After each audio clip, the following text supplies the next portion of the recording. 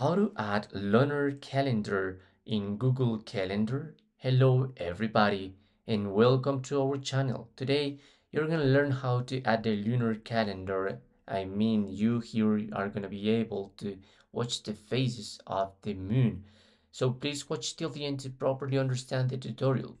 Basically what you must do here in Google Calendar is go into this place, other calendars, tap in the plus symbol add symbol and now I'm going to browse calendars of interest.